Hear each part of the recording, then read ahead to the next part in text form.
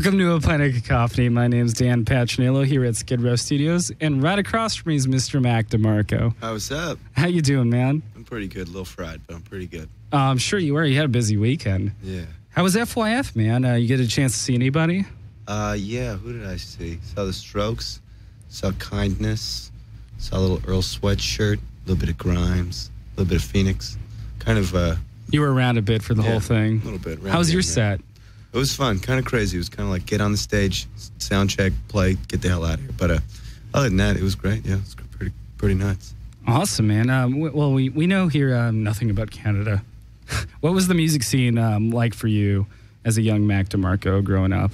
Um, well, I grew up in a city called Edmonton, which Mhm. is like uh, really far north, kind of in the middle, kind of a little bit west. Um, known for, I don't know, they got it some oil there, some crap, and a bunch of rednecks. But um, yeah, I don't know. I mean, it was like the the vibe is in the middle of Canada. You know, maybe a town gets some good bands. Then as soon as you know people start liking them, they take off to Vancouver or Toronto or Montreal. So it's kind of the way it always was, and I did it too. So there That's you go. the way of the world, motherfucker, right? That's right. Yeah, that's the way she goes. Uh, we've all had to uh, hustle for money at one point or another, but you, in a sense, sacrificed your body. Can you tell us a little bit about the medical tests Uh, uh, yeah. you were a part of? Yeah, sure. Well, I did it in Montreal. It's kind of like different universities, you know, different programs need lab rats. Like sometimes, sometimes like psychology studies, or other times like I don't know, all kinds of weird crap. But uh, yeah, I mean, uh, what did I do? Shot magnets in my head once. ran No a way. Man. Well, treadmill. well, let's take it one by one. Like, how did that go? I don't know. It was weird. They were like making me read these words on a screen, Mhm. and it was like it would say like um, like theater like 400 times, and it would blink on. You're supposed to say it. Then the magnets are supposed to like manipulate something where you read it wrong or something.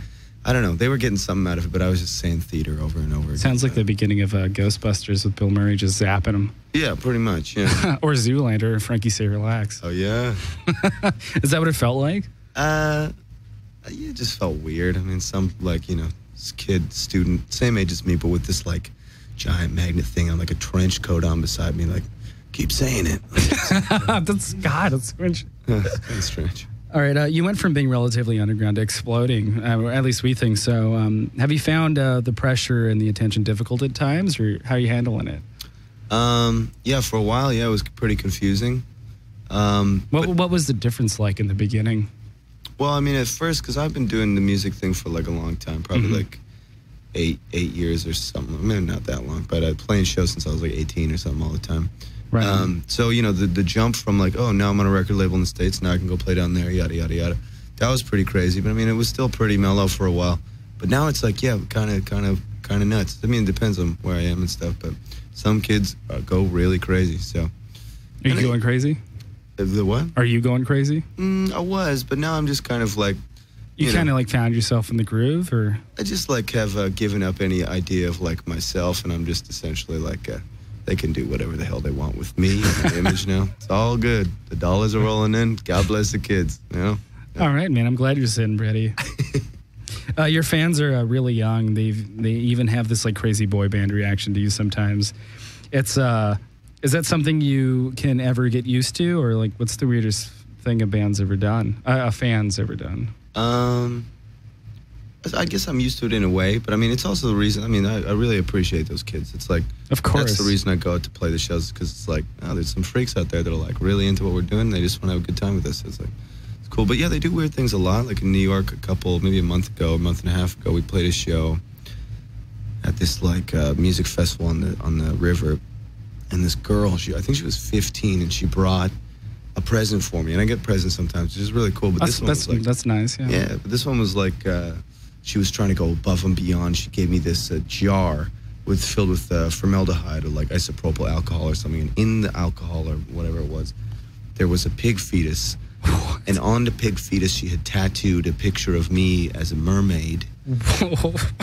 Um, yeah, and she was like, "Here you go." And I was kind of like, "Okay, like, th- thank you." Yeah, All right, so like this chick like grabbed a tat, uh, like a fetus of a pig, Yeah. inked it, put it in some formaldehyde, and was like, "Th- "This is for you, man." pretty weird. Yeah, pretty What, did weird. did you get that like after the show, or was it like right up on stage? Like she walk up? No, yeah, she found me after she found my my guitarist Pete, and she was kind of like, uh, Pete came up to me too, and he was like, uh, "Hey man, uh, I think you should meet this like kid." And I was like, "Man, I'm just hanging out." She's He's like, got this jar for Yeah, you. he was like, "No, this one, like, yeah, I think you should come with me." I was like, "Okay, cool." What was your reaction to that? I was kind of like, "Uh, thank you," because it's pretty weird at first. You know, it's kind of like, Do you still have it? yeah, it's in my my booking agency's office actually. I So- mean, what else could you do with it? You got to put that You on the shelf, right? And at first, too, it's kind of like, you know, it's like oh, you deface this like carcass of a living thing. It's kind of crazy. But if you think about it a little bit more rationally, it's kind of like, you know, say the girl's pretty young. She's an aspiring tattoo artist. So you don't want to go ahead and just start tattooing people. No, you got to practice at it. on something. Yes, I you need find that out canvas. Yeah, and the canvas sometimes is uh, pig fetus carcasses. Well, I- I've heard that the, the pig skin is close as to human closest to skin. human skin as possible. so someday, little Aoife that gave me the pig fetus will be a great tattoo artist. awesome, Mac. yeah. Um, we have you with an acoustic guitar here, Mm-hmm. and um, you're gonna play some tunes. I, I love the uh, the capo you got going with the sharpie. hmm Whatever works, brother. Makeshift, you know. So, um, which song did you want to do first? We're gonna try salad days. Sounds okay? It sounds, oh, it sounds great in my headphones. Let's. I'm sure it sounds great elsewhere. Okay, cool. Um, this song is called Salad Days. Okay. That looks like that Sharpie capo ain't doing too well. Let's uh.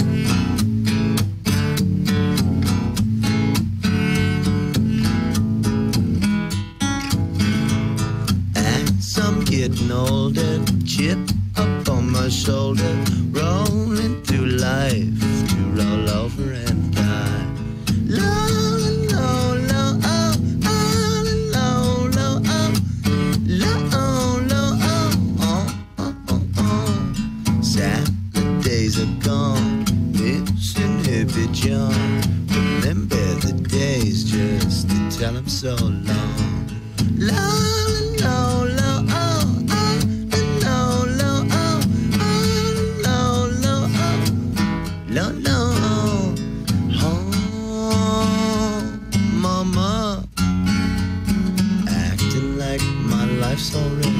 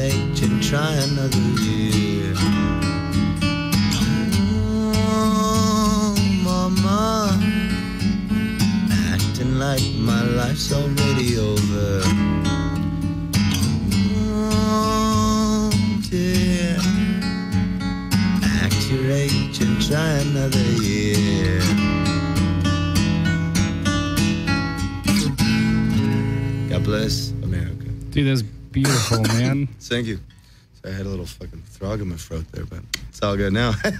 Hey, cheers, brother. How's that sharpie working out for you? It's okay, a little buzzy, but maybe it sounds uh, Ah, it sounds Really like we're in a studio. exotic. It. I dig, man. beautiful. So then uh, the next one you're gonna do is uh, let her Oh, go. yeah, let's try another one. Oh, I'd love it. Hold on, I just got to move the capo here. Hey, hey, do your thing. What do we got? Like a bunch of hair ties and a sharpie. Oh, that's beautiful. Come on, give me some love. Always forgetting my capo. I think it works better down here, probably. Holds on a little tighter, huh?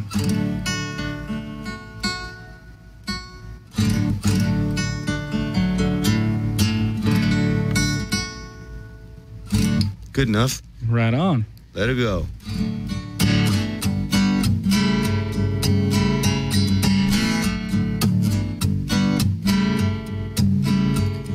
Tell her that you love her. If you really love her. But if your heart just ain't sure,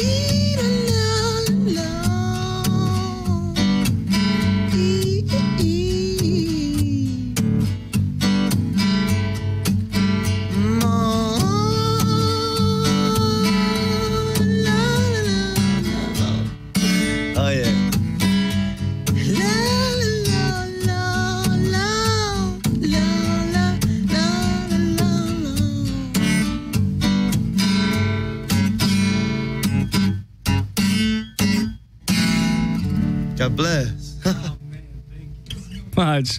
Thanks, man. no problem. Oh, we're gonna some songs. Let's see if we get to know you a little bit better after this. Show. Here's the Muffs. We had Kim in last week. Much respect.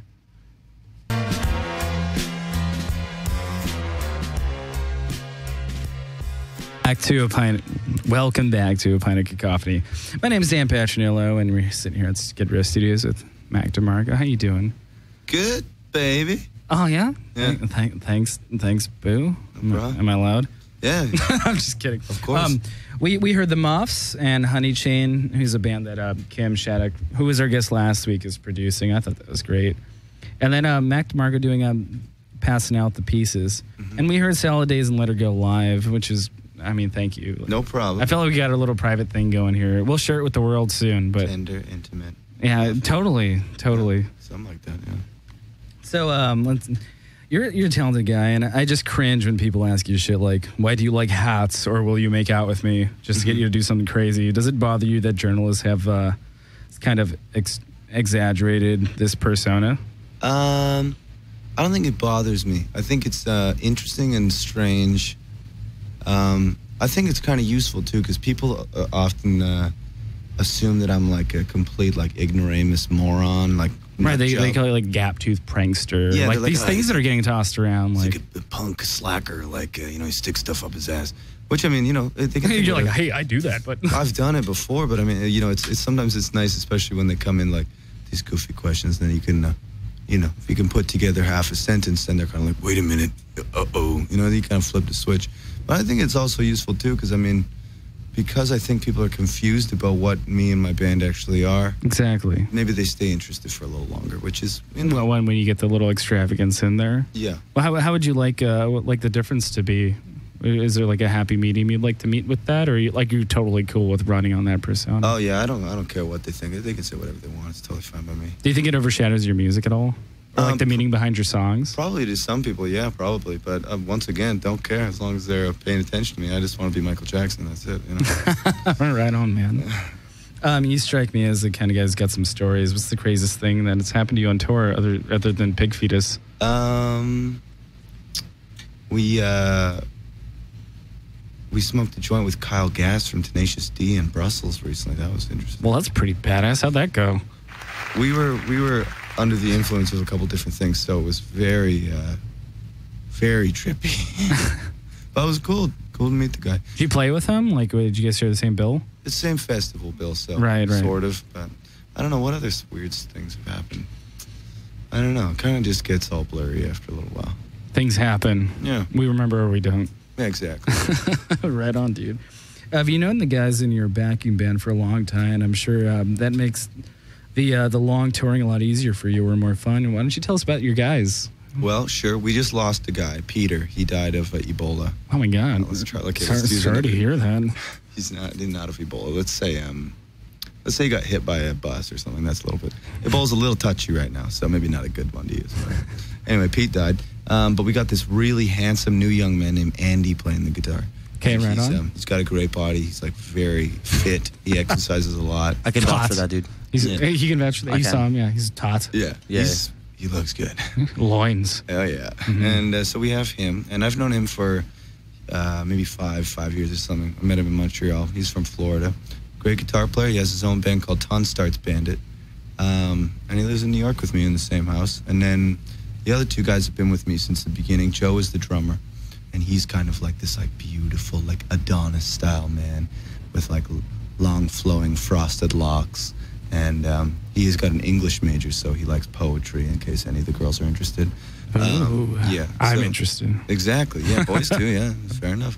Um, but yeah, so he's the drum kind of plays the drums like a gorilla. Love him to pieces. And then um, and then Pierce is uh, he's kind of our like um, what is it? A contrarian uh, kind of prankster, badass uh, bass player boy. So yeah, good good boys. Yeah, um, yeah. I've known him forever. I don't think I could go on tour with uh, like hired guns. I think it would. Uh, I think I would end up like hanging myself probably. Yeah, I was like thinking about that. Like, there's such a difference between like the hired gun route, like studio musicians, or like, shit, I need an extra guitar or a rhythm, Mhm. or I need a drummer for this thing just because we're going to be in France this week or whatever. Like, let's see who's there that can do those dates and Mhm. pick up the songs quickly. I don't see that in your music as like uh, your go to for solving solutions, but it's great that you have like that unit behind you, and I feel like it comes through on your records and your songs. Do you get, do you track with them in studio and everything? No, I do the tracking by myself, but but it's uh Do you um, write together though? No, no, it's all me. But But, it, uh, but you like you trust them enough to like handle your your yeah, babies, just- your I tell 'em songs. they, you know, they can do whatever they want because it's supposed to be fun up there. That's one of the things I think it's kind of like, you know, it's a rock. Usually at like a stinky club or something. It's not an art gallery, so like, you know, it's supposed to be a fun time for us and for the kids in the crowd. So I think it's you know it's what makes it organic. exactly yeah, Oh, that's awesome. It's great to hear. grain fed. You want to do some rapid fire questions here? Let's go as fast as possible. Okay. do this shit. Yes. Let's do it. All right. If you could be in any band, what band would it be? Dead or alive? Uh, Metallica. No, no shit, really. Uh, yeah, I think that'd be okay. Sweet dude. What, what are you doing vocals or you you on Lars's kit or, or are you just Um, like with them? I'd be probably doing Kirk's job.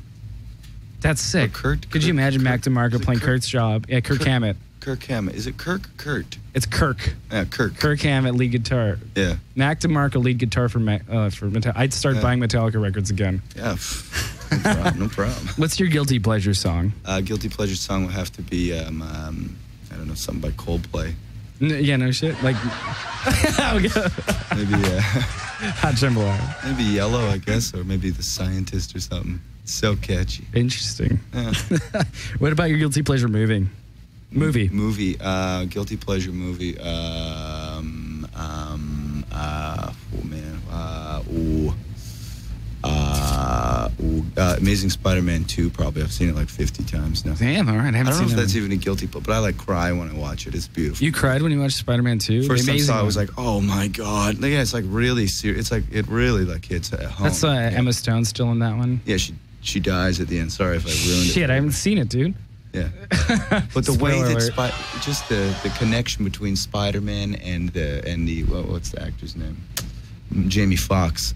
Yeah, it's beautiful. Spider-Man loves the people, man. He's out in the streets of New York for the people. That's just what like he's about. just like Mac, dude. yeah, fuck yeah. Just Yeah. like Mac. I love Spider-Man. What do you like better, recording or touring? Two different things, I think. Well, they're completely different things. Yeah. But how do you feel about each? Like, I like 'em both Is there one you hold higher in your heart, or Not really. I think they're good for different reasons. It's kind of like touring is, is really fun because you're meeting people all the time, having a party, having a good time. Sometimes the time is not so good, but hopefully that doesn't happen that much. Um, and I feel like, you know, I like to do it, so we do it for a long time. It's great.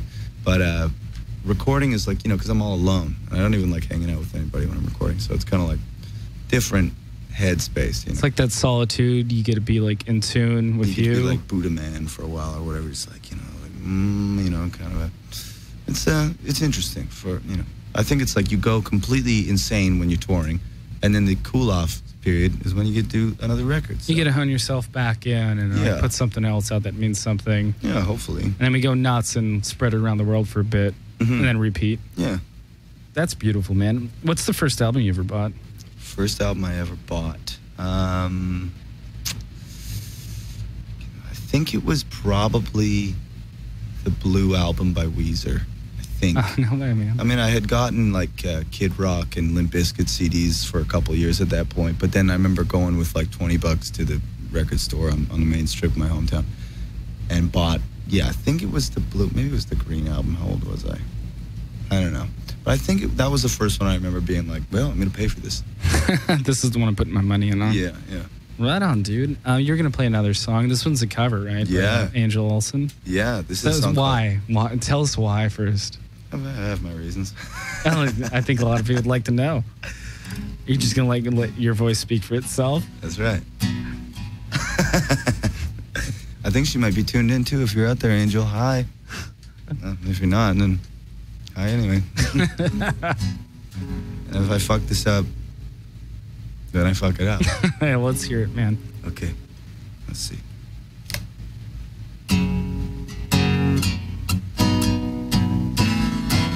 Here we go. If you don't feel good about it, then turn around.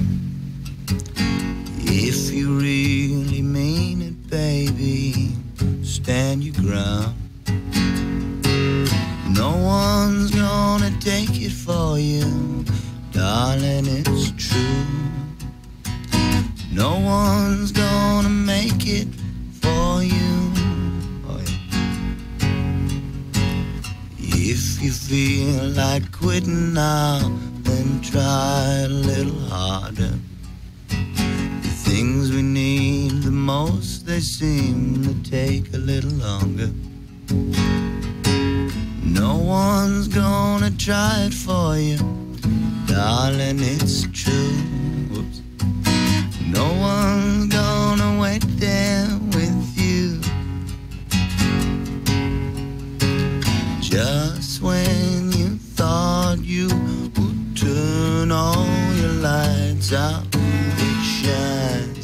Here's Stu's guitar part. My way on. Oh yeah. Some days all you need is one good thought strong in your mind. Once again, Stu. La la la, no, no. if you don't believe me, you can go ahead and laugh.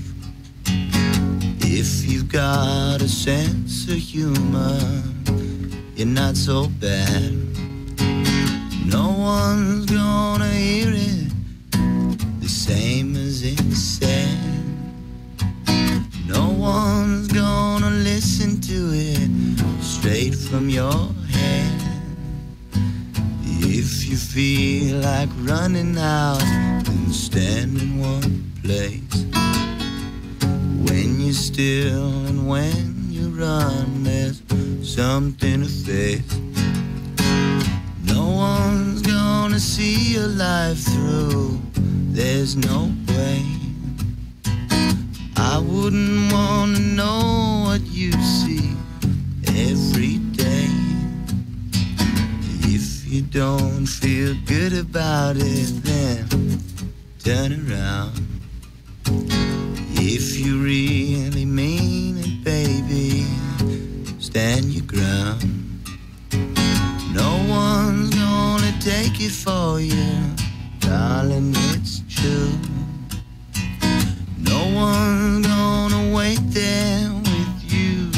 Let's take the chorus again, why not? No one's gonna take it for you, darling, it's true. No one's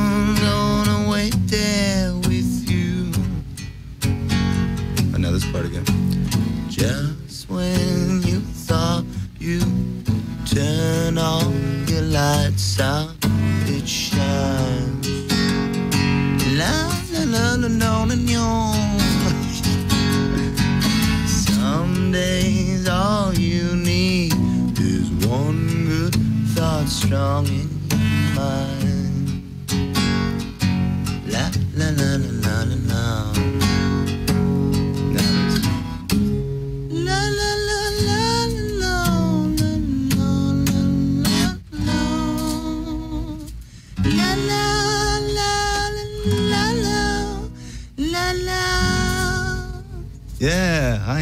God, man. It's I like fucking awesome, man. Right? Hopefully she marries you. we'll see what happens. Thanks a lot, Mac. We're going to go do one more song break and we're going to get a little goodbye right after that. No problem. Let's go into some uh, Pissed Jeans, yeah? Yeah. Let's do it. This is a Pint of Cacophony. My name's Dan.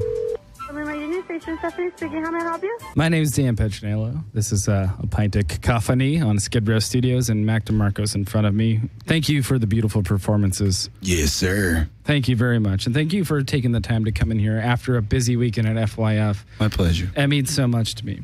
Just so people know, how do we follow you? Twitter, Uh, yeah, I think it's MSL DeMarco. MSL I DeMarco. think, yeah. Your Facebook, Matt Facebook. DeMarco. Yeah, I don't really check that one that much, but you can But I'm try. sure like the, the posts for your releases and your shows are on there. So Yeah, you guys pretty much do that now, right? Yeah. They're Right always on. trying to sound like me in the posts, like "Hello, my pepperonis" or something. Like they, that. they talk like that's hilarious. yeah. You got an Instagram too? Is, is I that have an Instagram, DeMarco? Mac DeMarco. Yeah, that's where I just post really st- stupid pictures of myself. Um, I have Perfect. an And email. My personal email is mdemarco at gmail.com. My mom is Agnes DeMarco on Facebook. what's your um, personal cell phone number? My personal cell phone number is 917 909 9186. How beautiful, man. 917. That's a New York City area code. I appreciate you sharing that with the world. Yeah. So if you want to call it, like if you're feeling lonely out there, like I'm, I'm lonely a lot too. So just give me a call. Let's call Mac DeMarco occasionally, yeah? hmm We'd like to thank everybody that stopped by here listening to us at Skid Row Studios. Thank you so much, Mac, for stopping by and playing for us. It's No it's, problem. It's been a dream come true here. Um, we'd like to thank Skindy.com uh, for doing some work for us, and you can find a pick of the week by myself on that website. And um, we we heard you we heard you were a fan, so we're gonna close this evening out with Ryan Paris La Dolce Vita for you, Yes. brother. Yes. Hope you dig. I love it. All right, good night, guys. Ciao.